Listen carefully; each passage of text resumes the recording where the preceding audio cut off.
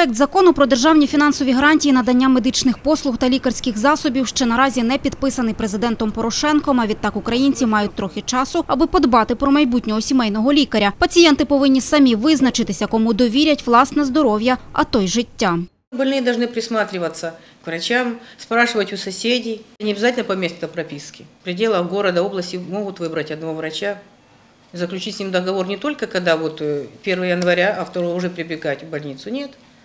Даже вы пришли на прием к врачу, уже можете с ним заключить договор. Можливо, вже з другої половини 2018 року сімейні лікарі та пацієнти працюватимуть лише на договірних умовах. В іншому випадку хворому, який не знайде до цього часу собі лікаря і не підпише з ним довіреність, доведеться платити за прийом із власного гаманця, паспорт, ідентифікаційний код. Якщо обираєте сімейного лікаря чи педіатра для дитини, то свідоцтво про її народження. Це все, що потрібно для укладання угоди. В договоре четко будет прописано, что должен делать врач, что должен делать э, пациент. Потому что если пациент не будет выполнять указания врача, пренебрегать ними или игнорировать это, врач имеет право отказаться от этого больного. Не только больной от э, врача, и врач от больного. Тим, хто визначиться з кандидатурою сімейного лікаря, держава на медобслуговування виділить невеликі гроші – приблизно 370 гривень на рік. Для дітей і пенсіонерів удвічі більше. Електронної системи для укладання договорів і декларацій наші лікарні наразі не мають. Усе в пілотному режимі. На останній момент договірні справи залишають і хворі. Вони поки що не цікавляться змінами у медичній системі. Честно, не, потому что все все равно будет одинаково. Хоть так, хоть так. Та мені вже скоро подихати.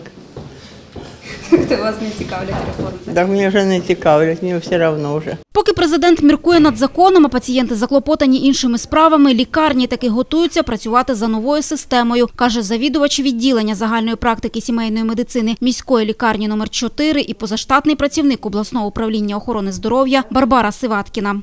Сейчас у нас уже в поликлинике пошла вот эта вот процесс пошел, мы начинаем уже освобождать кабинеты для того, чтобы делать минимальные ремонты, и уже э, врачи начинали работать. Закупается оборудование у нас в больнице. Згідно з рекомендацією МОЗ, сімейний лікар повинен набрати максимум 2000 пацієнтів. Зважаючи на цей розрахунок, майже половина жителів нашої області може залишитися без сімейного лікаря, бо на мільйон населення їх у нас всього 322. І це не лише проблема сіл, а й великих міст. Приміром, в обслуговуванні Чернігівської міської лікарні номер 4 17 дільниці, 30 54 тисячі людей. Їх лікують усього 9 сімейних лікарів. МОЗ у таких випадках робить винятки дозволяє лікарям брати більше людей. Навантаження на медиків при цьому не враховує.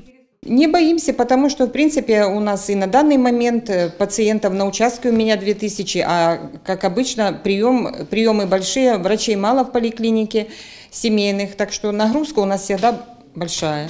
Медичної реформи бояться всі пацієнти і лікарі, бо вона надто оповита міфами та налічує чимало підводних течій. Але, як запевняють наші медики, без допомоги не залишиться жоден хворий.